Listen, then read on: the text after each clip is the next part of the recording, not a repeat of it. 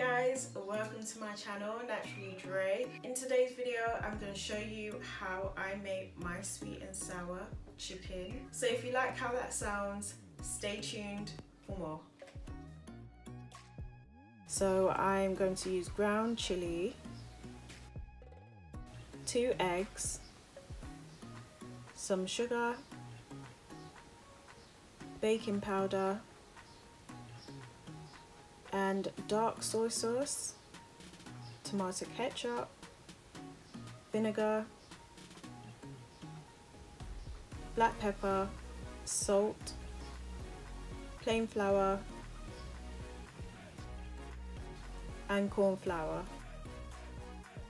I seasoned my chicken with some salt and pepper and left that overnight in the fridge. I used 5 tablespoons of flour, 3 teaspoons of corn flour and a quarter spoon of baking powder. Crack 2 eggs into the bowl.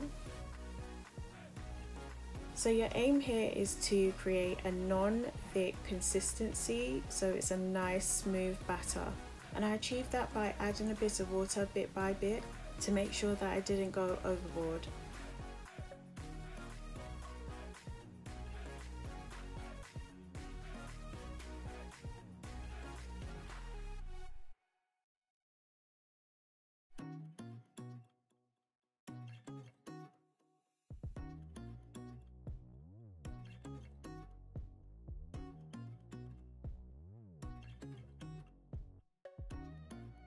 So I'm going to make the sweet and sour sauce and what you're going to need is one cup of ketchup, then a quarter of a cup of vinegar, a quarter cup of soy sauce and half a cup of sugar.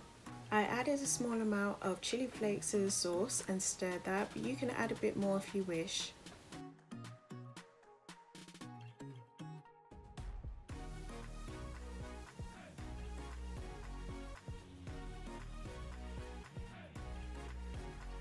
So the next step is really easy guys to follow. All you need to do is dip your chicken pieces into the batter and then into the frying pan.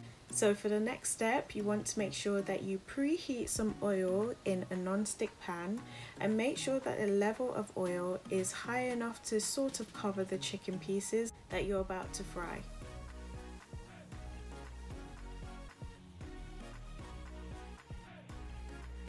In this step, make sure that you separate your chicken pieces as they are frying. You don't want them to stick together.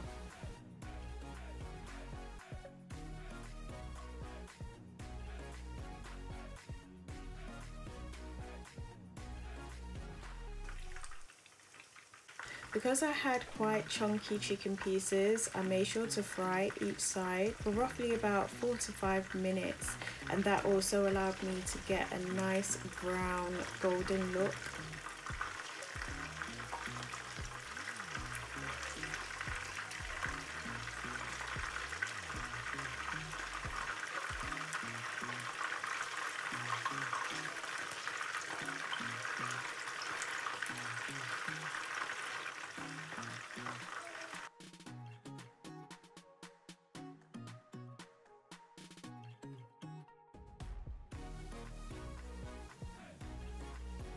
So right now you have fried chicken. Doesn't it look so good? It's golden and brown and it tasted so good.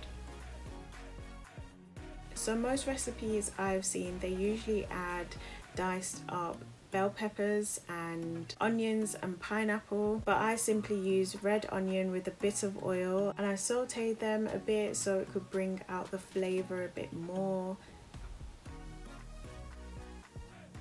and it's totally up to you guys what you want to add at this stage. I'm not a big fan of pineapple in sweet and sour chicken so I just kept it really simple.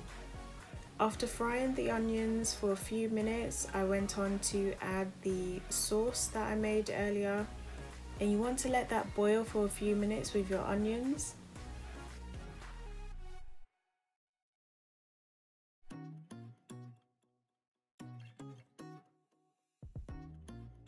Then you can go ahead and add your chicken pieces to the sauce and mix everything together.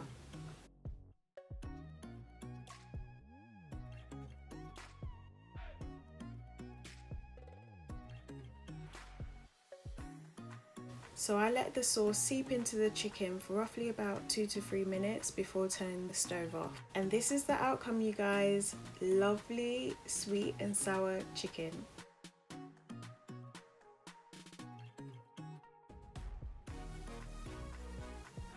Thank you guys for watching this video. Please be sure to like, subscribe and leave a comment down below and I'll see you in my next video.